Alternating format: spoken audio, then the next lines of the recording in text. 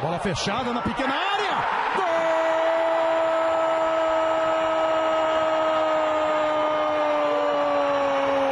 Giancarlo do Bragantino.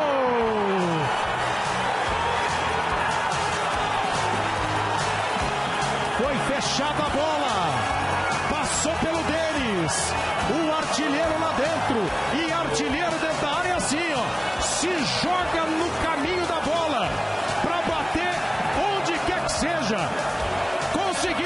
Bola pro fundo do gol.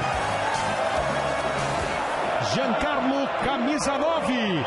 É o grande artilheiro do Bragantino no campeonato. Chega a oito gols no Campeonato Paulista. O Bragantino faz o seu 15 quinto gol. Oito deles marcados pelo Giancarlo.